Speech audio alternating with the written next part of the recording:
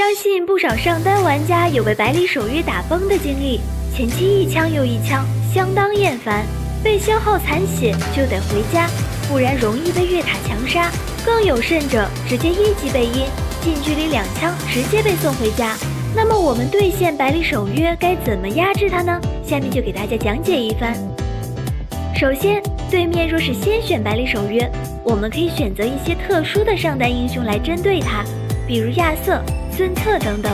亚瑟专治花里胡哨，一二技能轮流上前消耗，百里守约肯定会受不了。而一技能的沉默可以让百里守约放不出大招。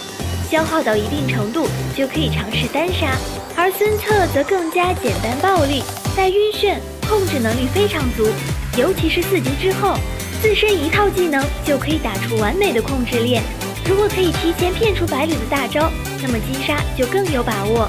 还有选择墨子对线百里守约也是不错的。如果对面百里守约是候选，可以请求与下路组合换线。自家射手的手虽然没有百里守约长。但是可以利用射程去清理兵线，这样至少不会被百里守约的普攻消耗到。百里守约主打前中期，后期打团比较乏力，秒人主要靠摸奖，所以导致他线上压制力比较强，很容易取得优势，迅速推掉上路一塔，然后就可以带起推塔的节奏。所以针对这一点，辅助可以做点事情，而选择去埋伏百里守约。如果百里守约被抓死一次，那么这节奏就断了。